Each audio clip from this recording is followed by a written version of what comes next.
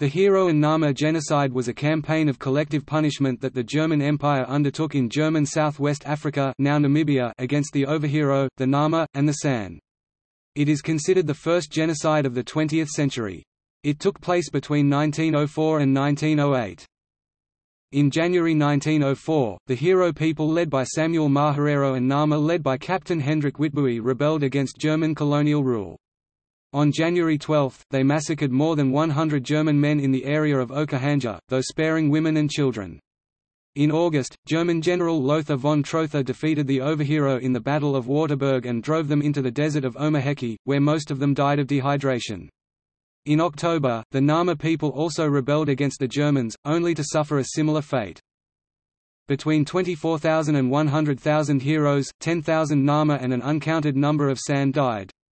The first phase of the genocide was characterized by widespread death from starvation and dehydration due to the prevention of the retreating Herero from leaving the Namib Desert by German forces. Once defeated, thousands of Hereros and Namas were imprisoned in concentration camps, where the majority died of diseases, abuse, and exhaustion. In 1985, the United Nations Whitaker Report classified the aftermath as an attempt to exterminate the Herero and Nama peoples of southwest Africa, and therefore one of the earliest attempts at genocide in the 20th century. In 2004, the German government recognized and apologized for the events, but ruled out financial compensation for the victims' descendants. In July 2015, the German government and the Speaker of the Bundestag officially called the events a genocide. However, it has refused to consider reparations.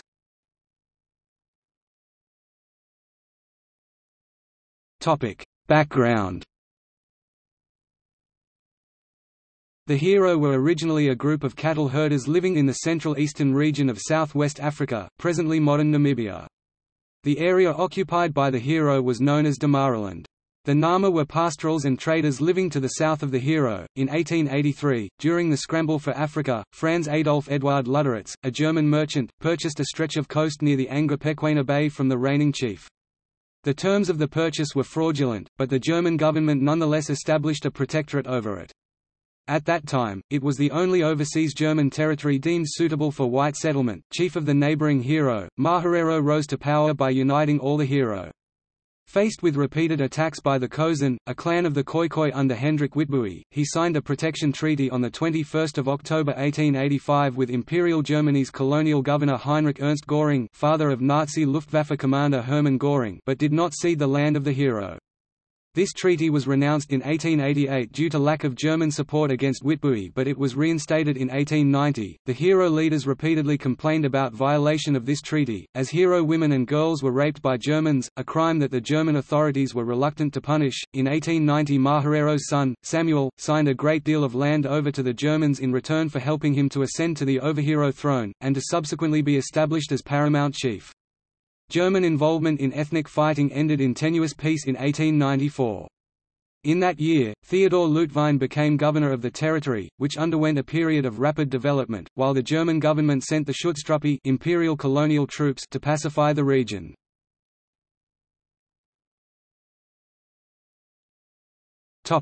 German colonial policy Under German colonial rule, natives were routinely used as slave laborers, and their lands were frequently confiscated and given to colonists, who were encouraged to settle on land taken from the natives. That land was stocked with cattle stolen from the Herero and Namas, causing a great deal of resentment. Over the next decade, the land and the cattle that were essential to Herero and Nama lifestyles passed into the hands of German settlers arriving in southwest Africa.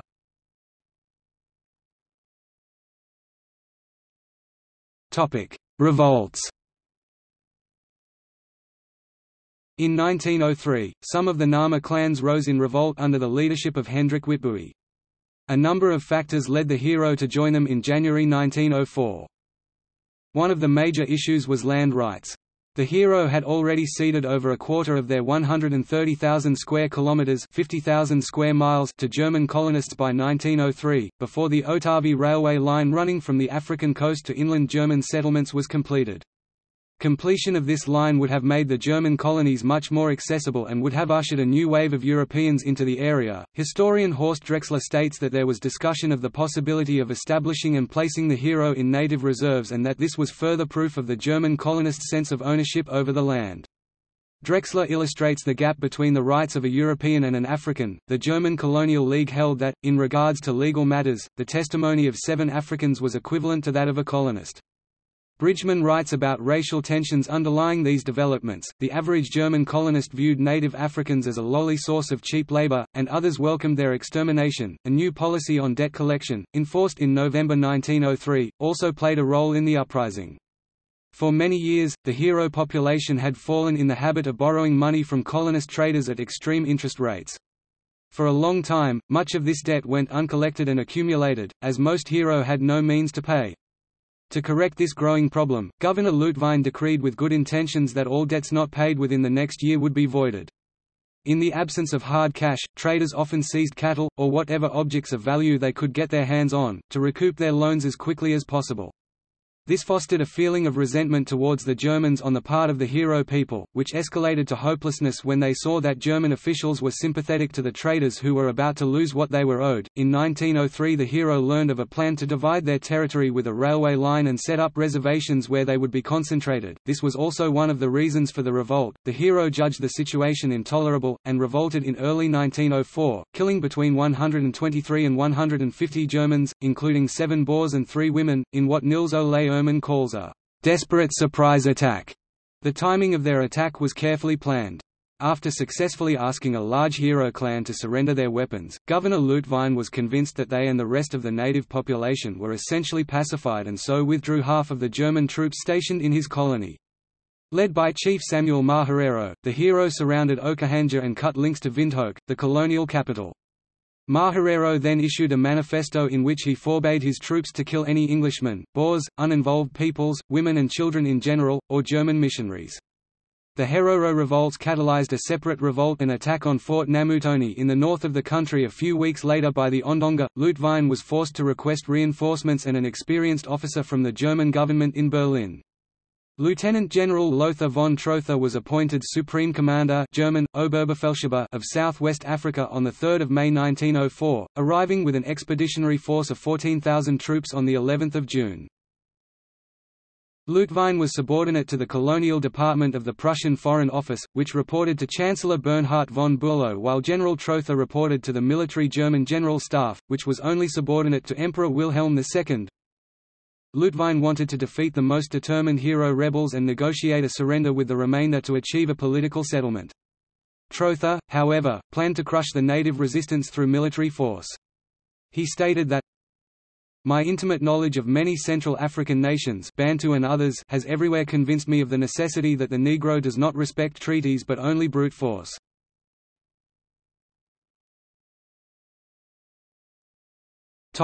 Genocide General Trotha stated his proposed solution to end the resistance of the Herero people in a letter, before the Battle of Waterberg. I believe that the nation as such should be annihilated, or, if this was not possible by tactical measures, have to be expelled from the country. This will be possible if the water holes from Grootfontein to Gobabis are occupied. The constant movement of our troops will enable us to find the small groups of this nation who have moved backwards and destroy them gradually. Trotha's troops defeated 3,000 to 5,000 Herero combatants at the Battle of Waterberg on 11–12 August 1904 but were unable to encircle and annihilate the retreating survivors. The pursuing German forces prevented groups of Herero from breaking from the main body of the fleeing force and pushed them further into the desert. As exhausted Herero fell to the ground, unable to go on, German soldiers acting on orders killed men, women, and children. Jan Cloete, acting as a guide for the Germans, witnessed the atrocities committed by the German troops and deposed the following statement.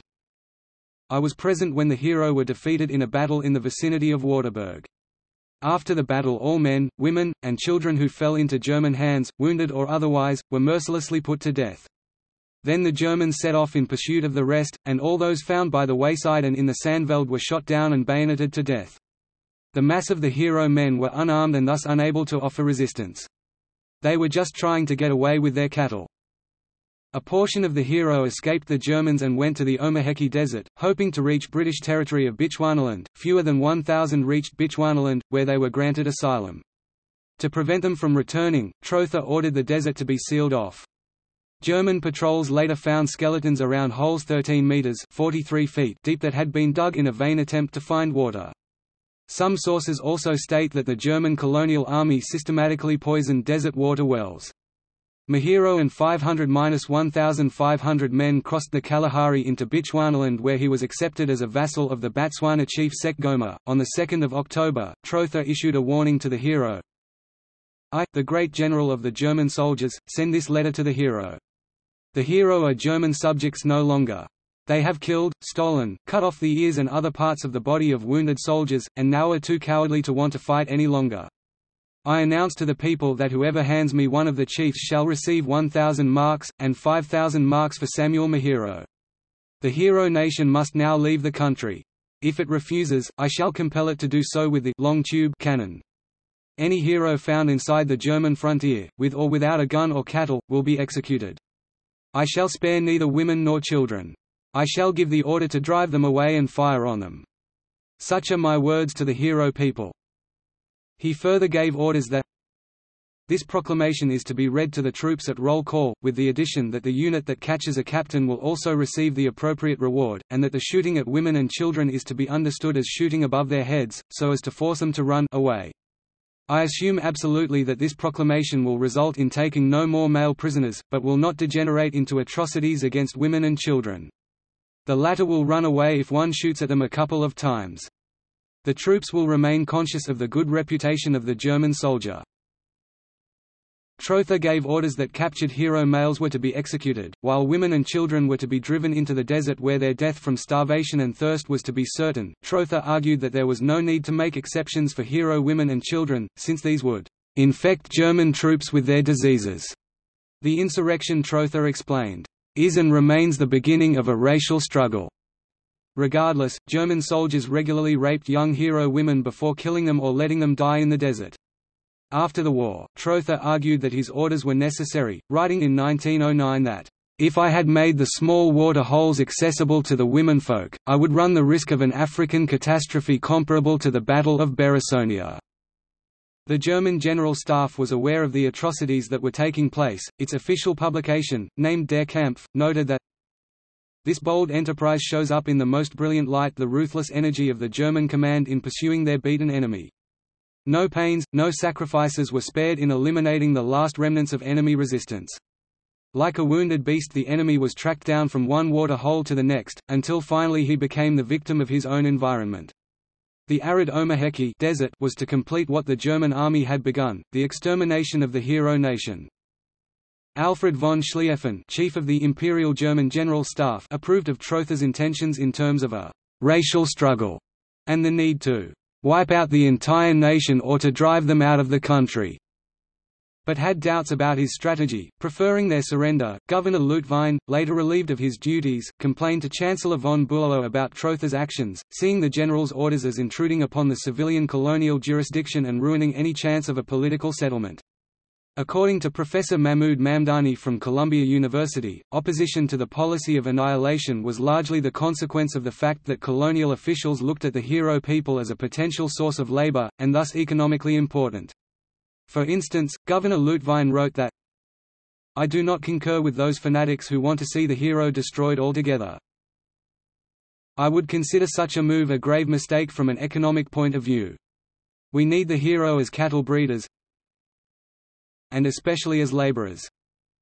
Having no authority over the military, Chancellor Bülow could only advise Emperor Wilhelm II that Trotha's actions were contrary to Christian and humanitarian principle, economically devastating and damaging to Germany's international reputation. Upon the arrival of new orders at the end of 1904, prisoners were herded into concentration camps, where they were given to private companies as slave laborers or exploited as human guinea pigs in medical experiments.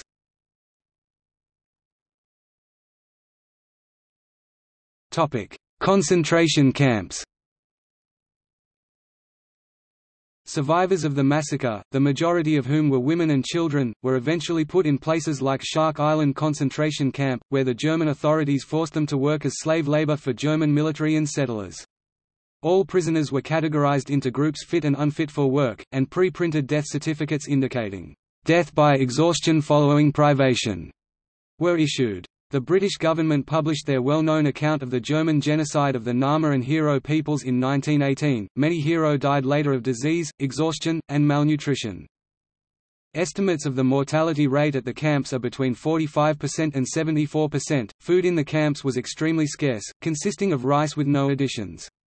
As the prisoners lacked pots and the rice they received was uncooked, it was indigestible. Horses and oxen that died in the camp were later distributed to the inmates as food. Dysentery and lung diseases were common. Despite those conditions, the Herero were taken outside the camp every day for labor under harsh treatment by the German guards, while the sick were left without any medical assistance or nursing care. Shootings, hangings, beatings, and other harsh treatment of the forced laborers including use of sjamboks were common. A 28 September 1905 article in the South African newspaper Cape Argus detailed some of the abuse with the heading, in German SW Africa, further startling allegations, horrible cruelty. In an interview with Percival Griffith, an accountant of profession, who owing to hard times, took up on transport work at Angra Pequena, Lüderitz, related his experiences. There are hundreds of them, mostly women and children and a few old men. When they fall they are sjamboked by the soldiers in charge of the gang, with full force, until they get up. On one occasion I saw a woman carrying a child of under a year old slung at her back, and with a heavy sack of grain on her head. She fell. The corporal sjamboked her for certainly more than four minutes and sjamboked the baby as well. The woman struggled slowly to her feet, and went on with her load. She did not utter a sound the whole time, but the baby cried very hard. During the war, a number of people from the Cape in modern-day South Africa sought employment as transport riders for German troops in Namibia.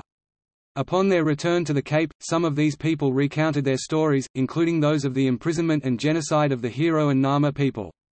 Fred Cornell, a British aspirant diamond prospector, was in Lüderitz when the Shark Island concentration camp was being used.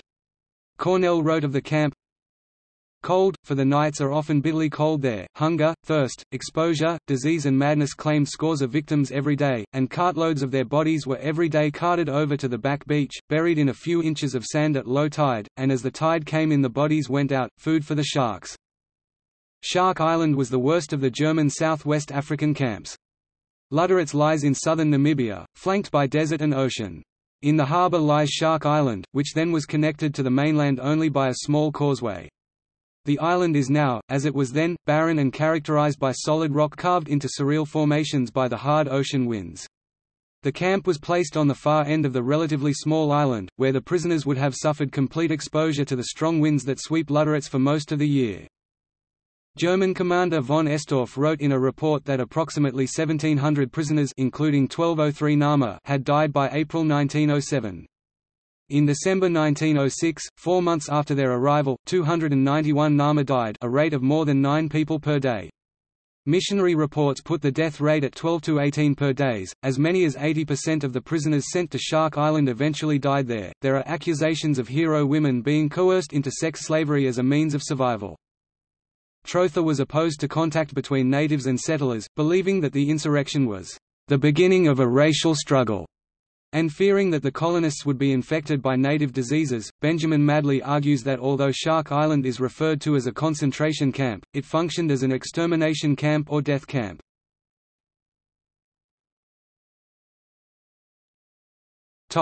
Medical experiments and scientific racism Prisoners were used for medical experiments and their illnesses or their recoveries from them were used for research. Experiments on live prisoners were performed by Dr. Bofinger, who injected Herero that were suffering from scurvy with various substances including arsenic and opium. Afterwards, he researched the effects of these substances via autopsy. Experimentation with the dead body parts of the prisoners was rife. Zoologist Leonhard Schultze (1872–1955) noted taking body parts from fresh native corpses which according to him was a welcome addition. And he also noted that he could use prisoners for that purpose. An estimated 300 skulls were sent to Germany for experimentation, in part from concentration camp prisoners. In October 2011, after three years of talks, the first 20 of an estimated 300 skulls stored in the Museum of the Charité were returned to Namibia for burial. In 2014, 14 additional skulls were repatriated by the University of Freiburg.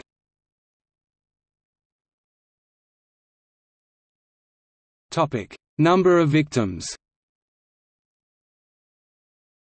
A census conducted in 1905 revealed that 25,000 Herero remained in German southwest Africa. According to the Whitaker Report, the population of 80,000 Herero was reduced to 15,000 starving refugees between 1904 and 1907.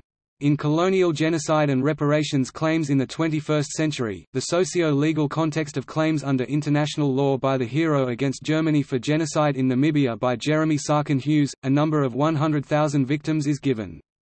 German author Walter Nuhn states that in 1904 only 40,000 Herero lived in German southwest Africa, and therefore, only 24,000 could have been killed. Newspapers reported 65,000 victims when announcing that Germany recognized the genocide in 2004.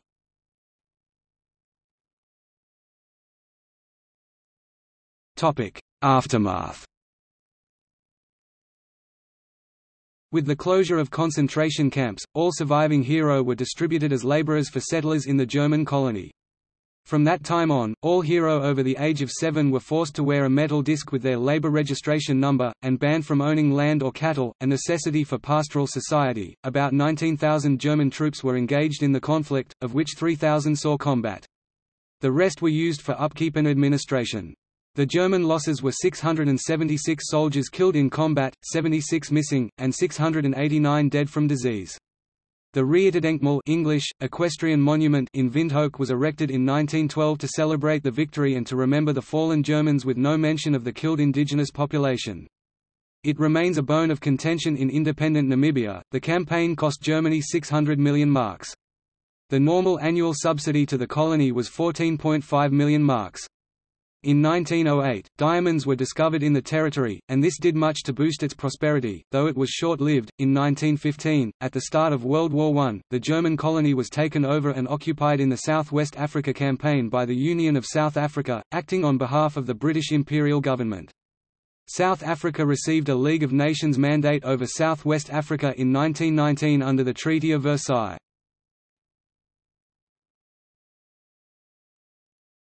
Topic: Recognition In 1985, the United Nations Whitaker Report classified the massacres as an attempt to exterminate the Herero and Nama peoples of southwest Africa, and therefore one of the earliest cases of genocide in the 20th century. In 1998, German President Roman Herzog visited Namibia and met Herero leaders. Chief Munjuku Nguvauva demanded a public apology and compensation. Herzog expressed regret but stopped short of an apology. He pointed out that international law requiring reparation did not exist in 1907, but he undertook to take the Herero petition back to the German government. The Herero filed a lawsuit in the United States in 2001 demanding reparations from the German government and Deutsche Bank, which financed the German government and companies in southern Africa. With a complaint filed with the United States District Court for the Southern District of New York in January 2017, descendants of the Herero and Nama people sued Germany for damages in the United States. The plaintiffs sued under the Alien Tort Statute, a 1789 U.S. law often invoked in human rights cases. Their proposed class action lawsuit sought unspecified sums for thousands of descendants of the victims, for the incalculable damages that were caused. Germany seeks to rely on its state immunity as implemented in U.S. law as the Foreign Sovereign Immunities Act, arguing that, as a sovereign nation, it cannot be sued in U.S. courts in relation to its acts outside the United States. On 16 August 2004, at the 100th anniversary of the start of the genocide, a member of the German government, Heidemarie Wieczorek-Zeul, Germany's Minister for Economic Development and Cooperation, officially apologized and expressed grief about the genocide, declaring in a speech that, we Germans accept our historical and moral responsibility and the guilt incurred by Germans at that time. She ruled out paying special compensations, but promised continued economic aid for Namibia, which currently amounts to $14 million a year. The Trotha family traveled to Omaruru in October 2007 by invitation of the royal Herero chiefs and publicly apologized for the actions of their relative. Wolf Thilo von Trotha said, we, the von Trotha family, are deeply ashamed of the terrible events that took place 100 years ago. Human rights were grossly abused that time.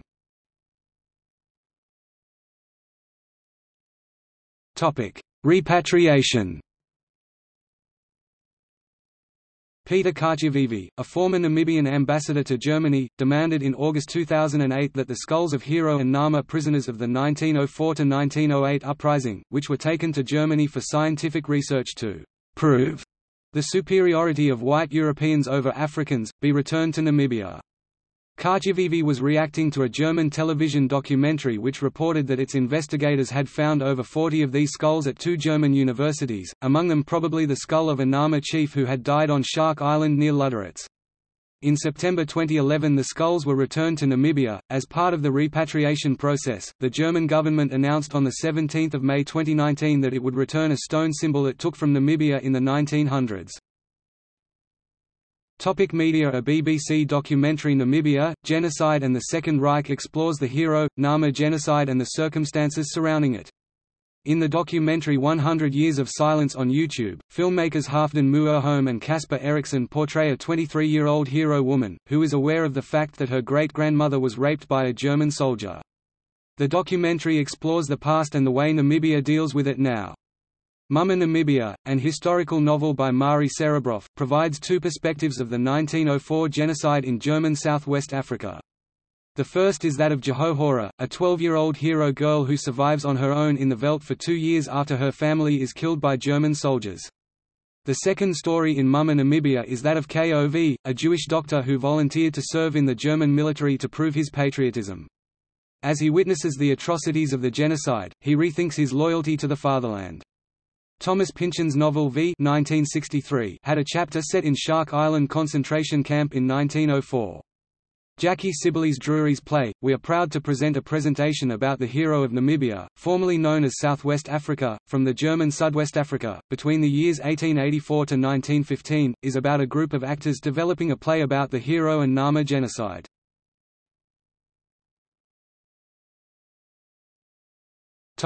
Link between the Herero genocide and the Holocaust The Herero genocide has commanded the attention of historians who study complex issues of continuity between the Herero genocide and the Holocaust. It is argued that the Herero genocide set a precedent in Imperial Germany that would later be followed by Nazi Germany's establishment of death camps. According to Benjamin Madley, the German experience in southwest Africa was a crucial precursor to Nazi colonialism and genocide. He argues that personal connections, literature, and public debate served as conduits for communicating colonialist and genocidal ideas and methods from the colony to Germany. Tony Barta, an honorary research associate at La Trobe University, argues that the Herero genocide was an inspiration for Hitler in his war against the Jews, Slavs, Gypsies, and others who he described as non-Aryans. According to Clarence Lusane, Eugen Fischer's medical experiments can be seen as a testing ground for later medical procedures used during the Nazi Holocaust. Fischer later became Chancellor of the University of Berlin, where he taught medicine to Nazi physicians.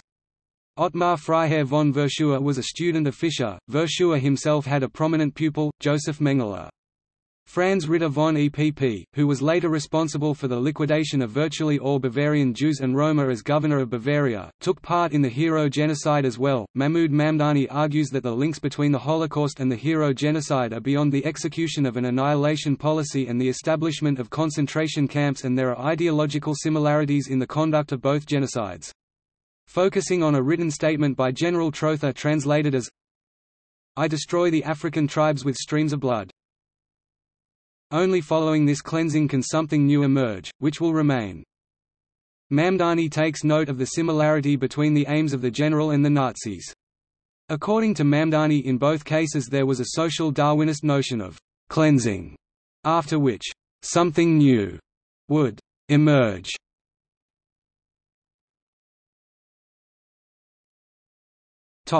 See also Genocides in history. List of genocides by death toll. Research materials, Max Planck Society Archive. Congolese genocide, perpetrated in the Belgian Congo not universally recognized as a genocide. Original German texts